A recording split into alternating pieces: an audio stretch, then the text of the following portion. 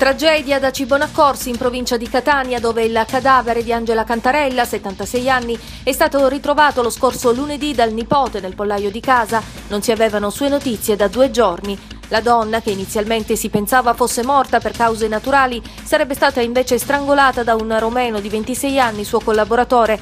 Alla base del gesto forse la scoperta da parte della vittima di un furto commesso dal giovane che proprio ieri al termine di un lungo interrogatorio è stato arrestato. I particolari saranno resi noti domani nel corso di una conferenza stampa in procura.